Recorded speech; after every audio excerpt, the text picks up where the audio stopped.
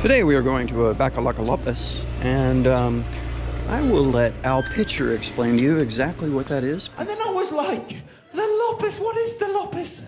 And then she took me to a Bakluckeloppis. if you've never been to a, oh, I mean, the Bakluckeloppis, very good. The Bakluckeloppis is the Premier League of shit shopping. It was the weirdest transaction I've ever been involved in. I was just walking around like this. I felt like I was in the mafia or something. Open the boot, Leffe, eh? open the boot.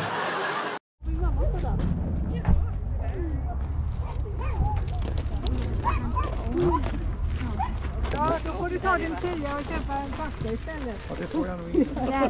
Yeah, vi, vi har one. Vi behöver ingen. Yes, jag vet.